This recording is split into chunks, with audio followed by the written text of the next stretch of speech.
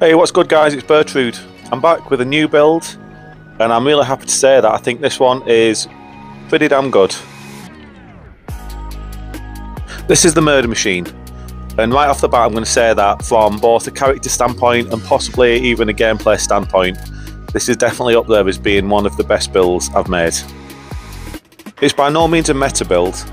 I'm definitely not going to go into every invasion and win, but you know, none of my builds are like that. However, if you don't effectively deal with what I'm bringing, I'm going to give you a hard time. This build's all about aggression. I'm going to get in your face and I'm going to make you fight. We're at level 65, we're rocking 44 vigour, which is quite a decent amount. We've got high strength and then we've got just enough endurance and dexterity to use and wield all of our weapons. And when it comes to our weapons, we do have quite a nasty selection to choose from. Mainly great axes and great hammers, with the star fist and the jar cannon thrown in just for a bit of extra utility. We are using the saw seal on this build, but because of that, it allows us to wear some extra heavy armour, which gives us 81 poise. And then we're also using the Opaline Hardtear in our flask, as well as munching down on some pretty nice boiled crab to counteract the extra damage that we'll take from the saw seal. As I mentioned before, the main goal with this build is to get in your face and to make you fight. I want to take trades, I want to take damage, but at the same time I want to give out some big damage as well. All of our weapons have got really hard hitting Ashes of War, so if you're too aggressive and you get in my face, you're going to get caught out with one of these. Now I'm not usually a big weapon swapper mid-fights, but on this build it will be part of the game plan. This example is quite effective, we use Crag Blade on a Warped Axe, and then we do a cheeky weapon swap onto another Warped Axe that has got Upward Slash on it. People don't see the weapon change, they get too aggressive, and 9 times out of 10, they get caught out with the Upward Slash. Anyway, you probably have noticed that I've got a bit of a croaky voice. I've just got back from the Man City Champions League game, so I'll stop talking. You guys get your feet up, relax, and enjoy the invasions.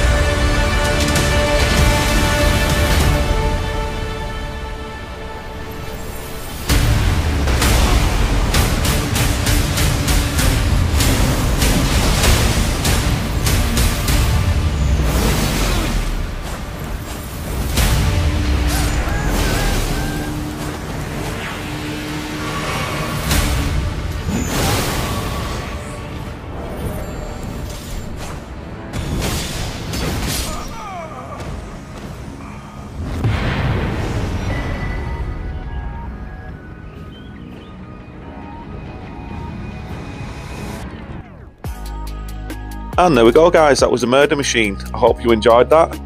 Uh, as I mentioned earlier, I love this build. It turned out just as I imagined it when I initially thought of the idea, so I must have done something right somewhere along the lines. Anyway, consider subscribing to support the channel if you're not already subscribed. Either way, thanks for being here, thanks for watching, and see you next time.